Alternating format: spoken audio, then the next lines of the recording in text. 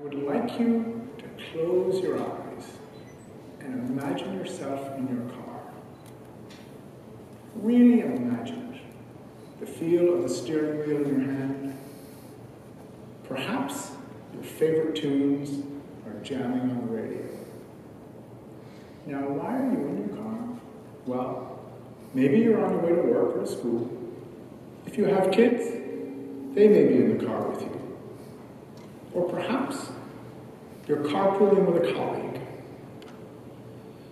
And now that we're imagining ourselves in our cars, let's imagine that we are in gridlock traffic.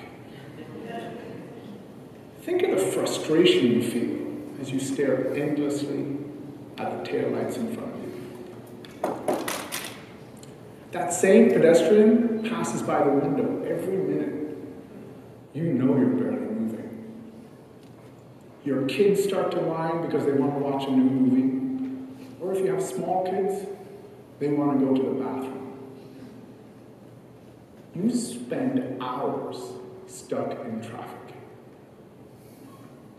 So, exactly how much time do you spend in your car? Is it 30 minutes every day? Is it an hour? Is it two hours? Well, if you commute for one hour every day, expect to spend about 260 hours in your car every year.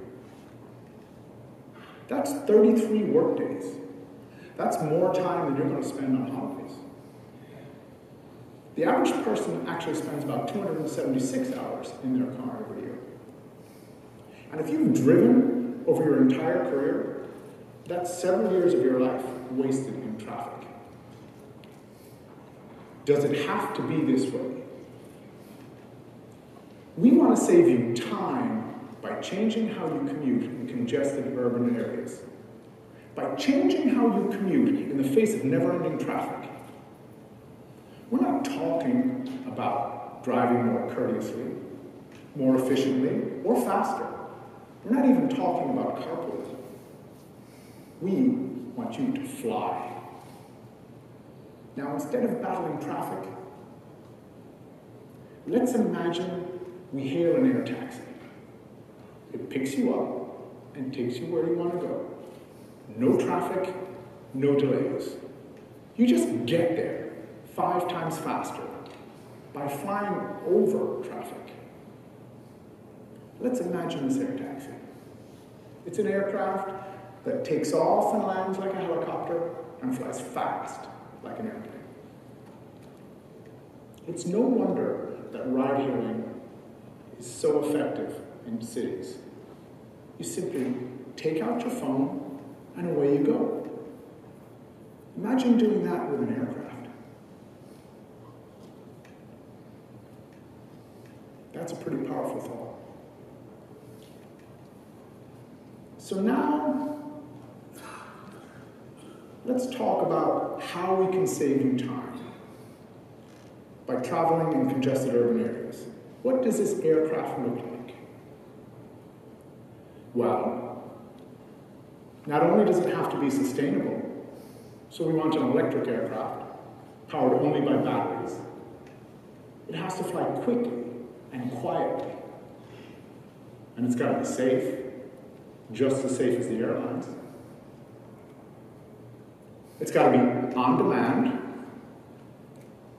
and it's got to be competitively priced, similar to an Uber or to a Lyft or to a taxi cab, if you're still into that sort of thing.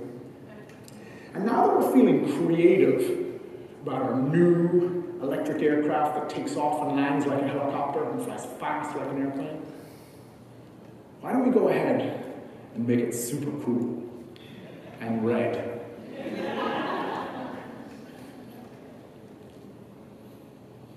Imagine what you could accomplish with years of your life not wasted in traffic. That is your time. So let's back up for a second. Let's explore some more of the reasons how this could change everything. By a show of hands, how many of you drive a car? Have you ever thought how much your car costs you to own and operate on a yearly basis? There's the insurance, the maintenance, the gasoline, the car payment. It's not trivial. The average car payment is $489 a month.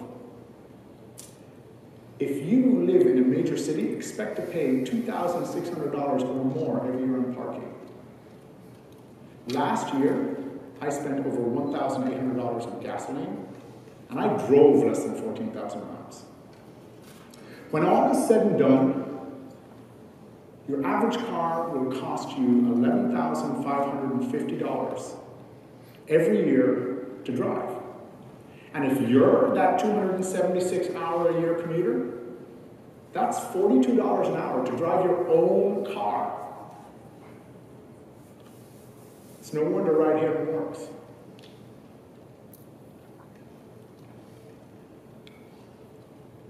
So, how is it that we're going to change the way we commute in urban areas?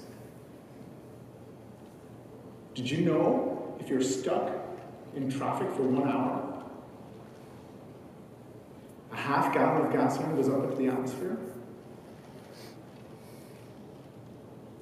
An economist calls that a waste of money. An environmentalist thinks about how the carbon dioxide contributes to the greenhouse effect. A business person thinks about the cost of goods delivery. Their delivery trucks are stuck in the traffic too. That wasted time and money gets passed on to you, the consumer. Whatever your perspective, know traffic impacts us all and is a drain on our society. It robs you of your time It pollutes your planet. And it makes the products you buy more expensive. Moreover, if you want to live in a city, expect to pay more for housing because traffic creates an artificially high demand. So, how do we change this? Well, what are we currently doing? Ride hailing has made significant improvements to transportation and transportation access, especially for the poor. It's taken the prohibitive cost of vehicle ownership and changed it into a pay as you go business model. And while those gains are significant, it has not addressed wasted time, traffic congestion, or exhaust pollution. So, why is it that we drive on the ground instead of flying through the third dimension? Well, if we are to fly in cities, vertical takeoff and landing aircraft are key. And if we are to tackle exhaust pollution, then electrically powered aircraft are also key. Together, these two concepts are known as electric vertical takeoff and landing aircraft, or eVTOL aircraft for short.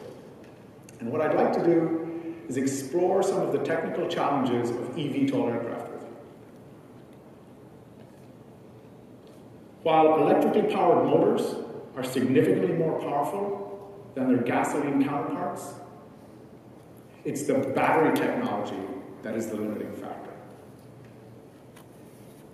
The batteries of today have very limited energy density, especially when compared to gasoline.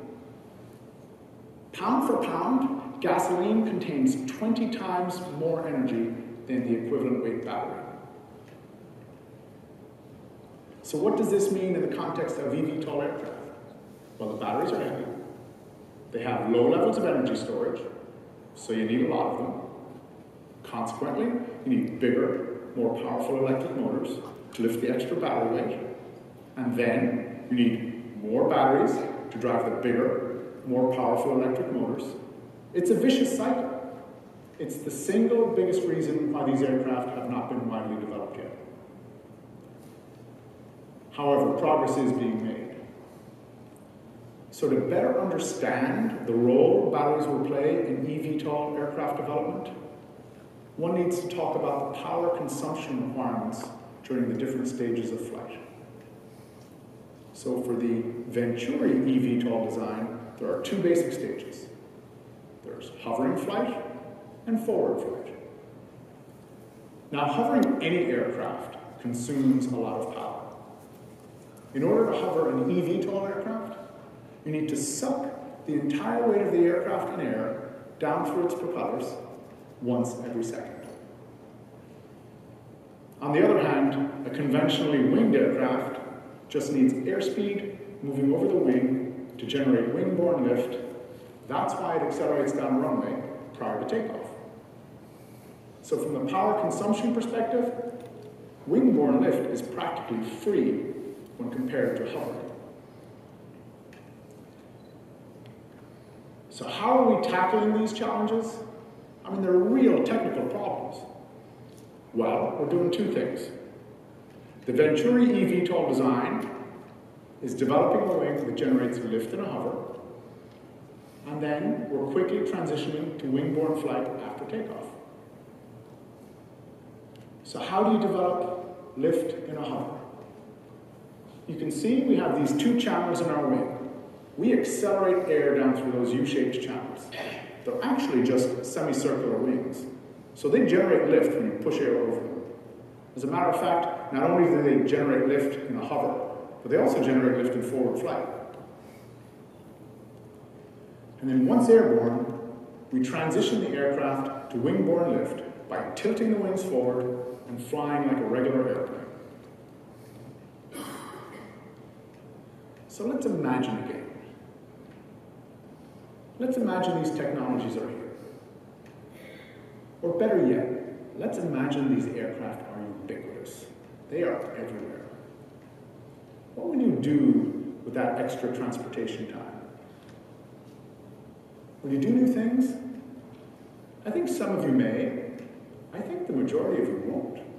I think if you devote an hour to commuting today, you'll devote an hour to commuting in the future, whether that's car or eVTOL. So how will that change the landscape in cities? Where will you choose to live if you could travel 160 miles easily in one hour? Would you still drive a car? Well, many New Yorkers today live and they don't have a car. They use ride hailing, the subway, or they walk. Mind you, they don't travel very far. And in that city and many others, traffic congestion is still a daily disaster. Additionally, cars and trains require roads and tracks. And that's a significant limitation. And it costs us money. Aircraft have the flexibility of flying in any direction. So I'd like to pull that thread with you for a little bit. Imagine you draw a 20 mile radius circle around the city of your choice. And that represents one hour of car travel. Now around the same city, you draw a 100 mile circle. And that represents one hour eVTOL flight. Yes, the 100 mile radius is five times bigger than the 20 mile radius. However, the enclosed area is 25 times bigger. That's 25 times more real estate. You could fit 25 times more people in there. So how would that change things in cities? Well, they wouldn't have to be so densely packed. Perhaps miles of concrete roads constructed to support the crushing levels of traffic could be partially repurposed as green spaces and trails. Maybe parking structures could re be replaced with buildings that had more meaningful uses. Maybe the price of housing would normalize in cities as people decided to move outward because travel options were better.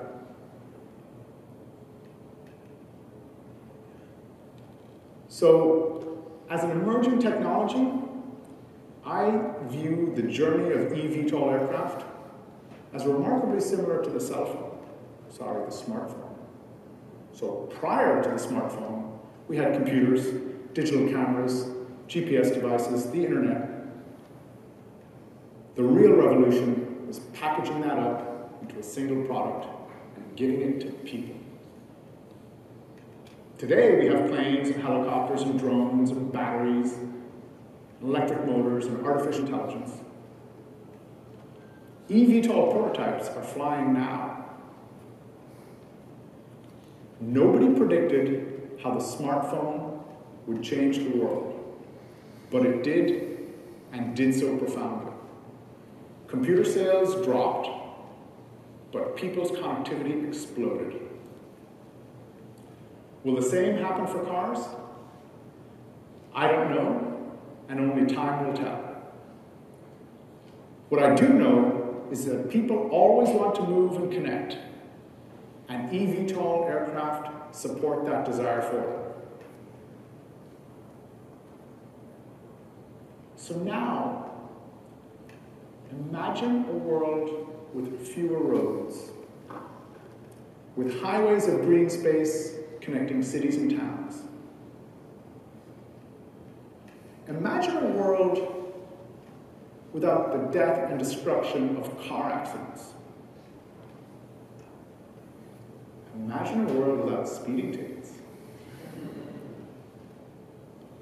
What will you do with your extra commuting time? Will you spend it with your family? Will you learn a new language and try and connect? Will you take up playing a musical instrument? Will you sit around and think about the next big discovery? eVTOL travel is all about the gift of time. Your time. Time not wasted in traffic. Imagine a life with more time. Thank you very much.